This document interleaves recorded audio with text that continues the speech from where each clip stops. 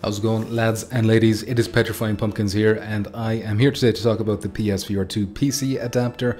We have got some previews going live from people lucky enough. Also, I've got this uh, NVIDIA broadcast thing going on right now where I turned on the eye contact, so probably shouldn't use it for the video like this.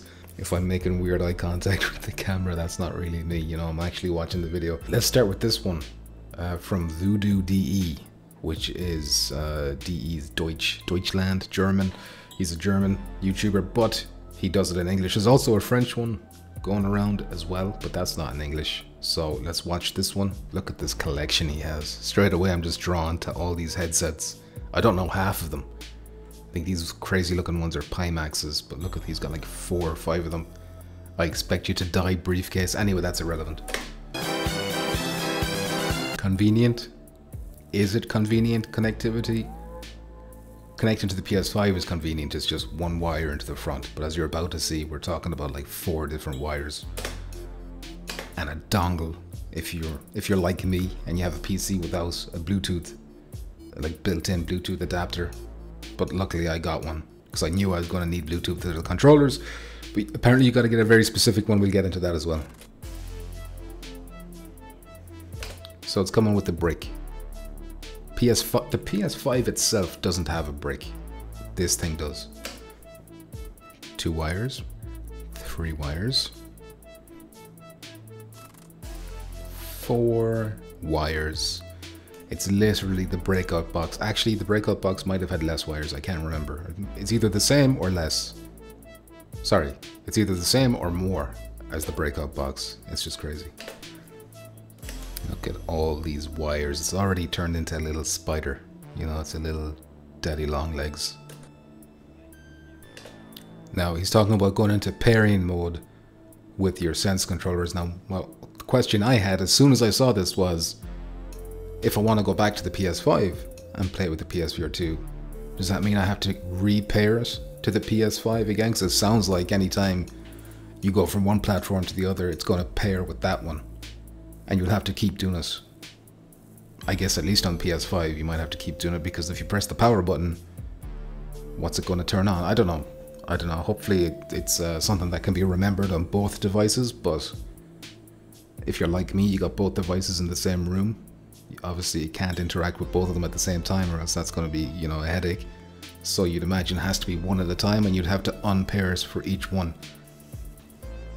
You'll be able to download that on the 6th. So even if you get the adapter early somehow, some countries seem to be getting them a bit sooner. Like people are either, I don't know if retailers are breaking embargoes or street dates or whatever.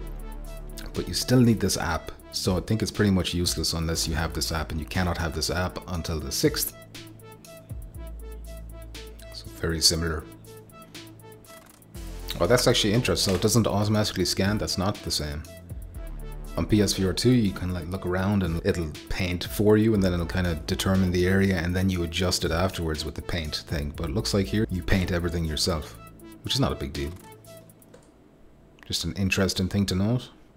Now by the way this it's going to sound ridiculous but this menu the Steam VR menu where it's like a big curved screen when you turn it on you play the Steam app on the PSVR 2 for the first time. Like we had nothing, we've had nothing like this kind of a UI. Yeah, and it's still a flat screen, but it's still it's in a 3D space. They got a curve effect going on. It's more than Sony ever did for the uh, the UI on the native PSVR 2 to PS5. Just a small little thing I thought was kind of funny. So the one I have is a TP-Link USB 500 or 5.0 or whatever it was. Apparently PlayStation uses 5.1 Bluetooth, so if you have the TP-Link, like Sony themselves recommend us, I think he puts it in the comments here. So according to feedback from Sony, the following Bluetooth adapters are recommended. So there's TP-Link UB500, which is the one I have already, luckily. So hopefully it works. There's the Asus USB BT500, Buffalo, blah, blah, blah, and then, you know, some other links for different stuff as well. But I'm hoping that that's like uh, not going to be an issue. With a lot of people not being aware of this, assuming that their Bluetooth will do the job, and then finding out in the day that they don't have the right hardware, and then frustrations ensue as they gotta order, even though they're cheap. I think they're cheap. How much is this to buy? 12, like $13 or whatever, so, you know, not, a, not that big of a deal, but still, isn't that fascinating? he's telling us because he's got a like an area in his room I guess like a green screen area that he's in so that he can, you know, chroma key himself out and put himself in the corner of videos. The PSVR 2 would have trouble tracking that when it's connected to the PS5, but when it's connected to PC, it doesn't have that trouble. So it seems to be performing better on PC in terms of headset tracking, which is very interesting. That'll be interesting. I've seen someone commenting on Reddit that like Bluetooth that's built in can be like notoriously trash and that you should guess. I don't know what he said, like an extension thing or something. So like you can like um, run the antenna, the Bluetooth receiver or antenna or whatever, like keep it away from the PC because the PC itself, the case, the tower can interfere with the signal. I've also had people telling me in the Discord that I should put my Bluetooth adapter, which is currently in the back of my PC, I should put it to the front so that it's got less blockages in the way. So I'm a little, little bit concerned on how like, you know, stable that Bluetooth connection is going to be. I hope because I've got the one listed, I'm not going to have any of these issues like he's encountered. But as Important said in the Discord, we need more guinea pigs. Okay, well he deserves a subscribe for that and a like. Okay, so we're not done yet. Well, first of all, you should check out this guy's channel, especially if you want to get the correct uh, Bluetooth adapter. He's got the three listed officially from Sony, or maybe four there, I don't know. Uh, that Sony themselves recommend these ones to work. So you'd imagine they're fairly safe bets. Uh, but that's Voodoo DE VR English version. Uh, okay, so I was on Reddit as well, looking at other people's impressions. Here's another uh, reviewer's take. Let me go back. They got screenshots because he says it in a different language. He didn't notice any mura at all. Was isn't that strange? Isn't that like down to the display? Like, is that something that you can avoid by being on PC? I thought that was like part of the hardware. That was like a hardware fault or trade-off. No problems with head tracking. No problems with the hands. Impressions here is fantastic, by the way. I expected, yes, the picture is good. So you see you're in like a 3D environment. Straight away He got like, I didn't notice that in the first video, but he's like, he got like mountain range in the background and he apparently judges headsets and this, like straight away the graphics and how they're gonna look in this little area. Everything's super cracking sharp, but it gets interesting towards the back. The groups come closer together. Clean image. Ah, so Mori effect, is that Mora? effect. Okay. His controller tracking is smooth. He says the colors are very crisp. Okay, he said everything looks fantastic, fantastic, I think. Okay, it's hard to go by this because different people have different graphic cards. They can bump it up, other people have to bump it down a little bit, so it's difficult for me to judge how it's going to be like for me based on this, but whatever. Brightness, vibration intensity. First impression of the image is, as I said, with exactly the same resolution in exactly the same game. Sitting on the Quest for half a year, three around, I definitely have to admit that the general image impression of the Quest is sharper for me at this moment. But that's also because the Quest software artificially sharpens the image, which is crunched and sent over. So the image is sharper on the Quest, but there's some kind of, it goes through some kind of pipeline where it sharpens the image in the background, I guess, for all games, maybe on the Quest 3 is what he's saying. That the PSVR 2 doesn't have. Think he's happy with this if the translation I'm reading is correct, but the translation on YouTube is like not great. Okay, so you gotta be careful with the settings with Steam VR. It'll automatically might set them too high. I think that's what he said. Everything feels good, nothing feels strange here. Tracking felt extremely direct, which I assume means like one-to-one. -one. Didn't any mura at all, but I usually don't see that on the PlayStation either.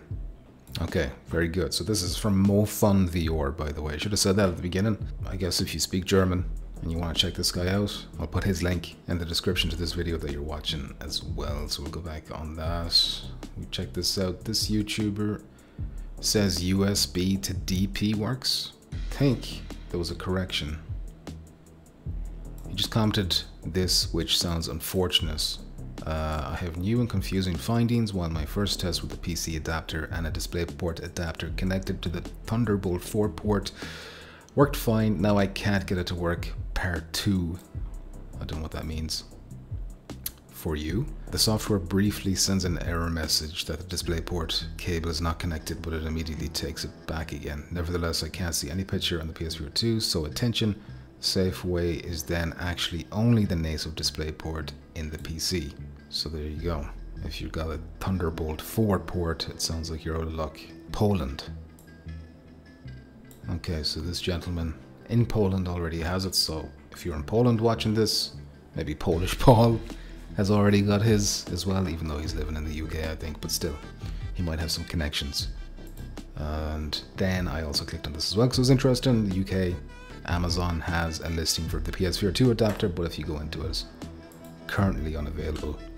It's getting to the point now we're getting close to the actual launch of it, and people like me, I'm in Ireland for example, I have no idea where to get this do I have to wait for it to go on Amazon UK and then I get it from there? My local retailers, because we don't even have GameStop here anymore, they shut down a couple of years ago. They closed all across Ireland. So we have Smyths, but they're not listing it online either yet. It might just pop up on the day itself. I don't know. And we don't even have Sony Direct either, or PlayStation Direct, I should say, so I can't do anything with that. But even if you do have PlayStation Direct in your country, you can't like look it up. There's no page for it. It's as if it doesn't exist. Also, I just find it very, well, like everything with Sony, this is all bizarre. That the uh, German YouTuber and a French YouTuber both got access to this. Like, why is there no American or British or Asian? Why was it just those couple of countries? Like, it's all, it's like Sony is broken up into all these different regions or you know, different departments and nobody's really got a cohesive plan together there. There's also, actually, I meant to look it up and play it, a new advertisement for this by Sony, but it's actually on their YouTube channel. Uh, one day, oh my god, they don't even have it on their fucking YouTube channel. On their blog, maybe? I'm trying to look for anything that says PSVR 2. I swear I've seen it. It's, on, it's definitely on the, uh, somebody posted it here on the Reddit. Here it is. Courtesy of Nathy on Twitter. So where did Nathy get this from? Okay, we got Nathy's here. Where did he get this? So expand your library. HDR headset feedback, eye tracking, adaptive triggers, and haptic feedback. Other than basic rumble, features are not available when playing on PC. Connect your PSVR 2 to your PC with the adapter. Internet connection required for Steam and apps. Convenient connectivity, I don't know. Is this convenient? First of all, one of these wires isn't included. The DisplayPort 1.4 cable you need, minimum 1.4. I think you can go over that and it'll work backwards. Uh, and then you got your USB-A and a power. This is probably USB, and then your power. Then your USB-C going in the front. Use of this product requires a commercially available DisplayPort cable sold separately that is compatible with DisplayPort 1.4. Actually, do they mention Bluetooth, I wonder? convenient. So they got Half-Life Alyx playing in the background. High fidelity visual experience. 4K resolution and OLED display consisting of two 2000 by 2000 OLED panels, or displays, sorry. 110 degree field of view. Designed for comfort what I found, like I kept laughing, I'll, I'll point it out when we get there. Adjustable lens separation, which is nice, of course. 3D audio. This is where it starts getting funny. The stuff where, like, they had similar ads to this for PSVR 2 itself on PS5 and they'd list HDR and the 110 degree field of vision, but then they'd have adaptive triggers, haptic feedback, they'd talk about eye track and all the cool shit, and then you'll notice here that they don't have all these things, so they replace it with like, the controllers are smartly designed and they feel good. Intuitive. Smart design. Precision control. This feature at least stays, that's nice, we get to keep this. Hopefully a few games use it analog sticks and action buttons. Is this really a selling point? I don't think they sold this as a selling point the first time around. I could be wrong. Even though it was a big deal to have the stick because we were using the Move controllers for so long with no stick. I don't think it said, wait, maybe it must have. It must have said something about Bluetooth. No text on the bottom to let us know that you need a certain type of Bluetooth minimum 5.0, I think, to get these to run correctly, which is strange. Yeah, and that's it. So that's where we are right now with the PC adapter for the PSVR 2. Like I wasn't expecting Sony to actually give it to people in advance so that they could try it out and show it off and kind of promote it. Although it's weird that they have just picked like a few people in like Germany and where the fuck was the other country again? Germany and what? Not the Americans, not the Europeans, not anyone English speaking. So maybe on Monday then we might see a push from English speaking side. I don't know. If it was me running the show at Sony, I'd make sure these were all lined up together. There'd be an embargo and it would all lift at the same time for globally, you know? That's how they've done us with like stuff they care about. It's just weird what they're doing here. And of course, like I said, we're less than a week away and I don't know how to buy this.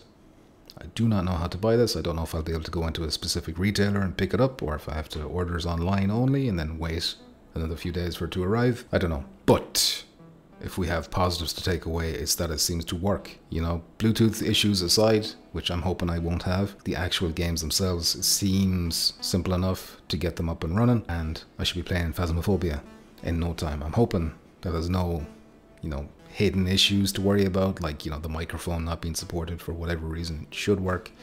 But uh, you know how it is with Sony. Anyway, I think the main takeaways are it looks good, no noticeable increase to mura or whatever. Bizarrely, it seems to track better. The headset itself, at least, tracks better than it does on PS5. Does that mean PC is the best place to play PSVR 2?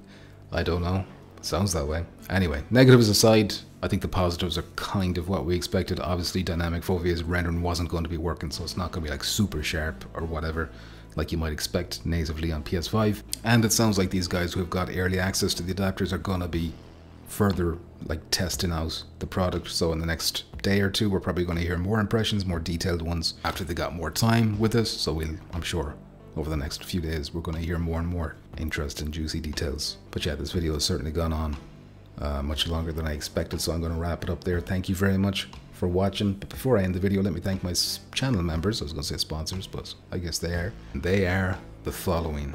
Muzz, Deadeye Dan, no one knows. Plank71, esports commentator for hire. Deej the Pumpkin Patch Kid. Pete Hawkins, the Governor Vior. Crumb, Superfly AF, Edified Till I Die, Lone Wolf Vior, Aced, Mr777, and Geza. Thank you very much for that support. It is greatly appreciated. I'll see you in the next one. Please stay nice and moist if you can.